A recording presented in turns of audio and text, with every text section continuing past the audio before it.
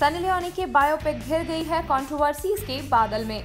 क्या बड़े पर्दे पर रिलीज़ हो पाएगी ये फ़िल्म या पड़ जाएगी किसी कानूनी पचड़े में? नमस्कार दर्शकों, आपके अपने चैनल पीएमएस मीडिया की बॉलीवुड से जुड़ी खबरों में आपका बेहद स्वागत है।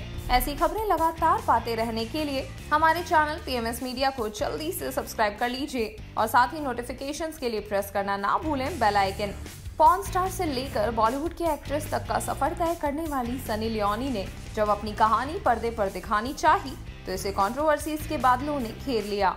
ये जर्नी एक वेब सीरीज़ के ज़रिए लोगों के बीच आने वाली है। कुछ ही समय पहले इस वेब सीरीज़ का ट्रेलर रिलीज़ किया गया था, जिसे लोगों ने बेहद पसंद किया। लेकिन हाल ही में कुछ ऐसी खबरें सामने आ रही हैं जो सनी लियोनी की लाइफ पर बेस्ड इस वेब सीरीज़ के लिए राह का रोड़ा हो सकती है।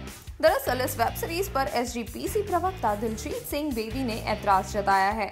उन्होंने फ़िल्म में किरणजीत कौर के इस्तेमाल पर आपत्ति जताई है। उन्होंने कहा है कि सनी लियोनी ने अपना धर्म बदल लिया है इसके बावजूद वो अपनी फ़िल्म में कौर शब्द का इस्तेमाल कर रही हैं।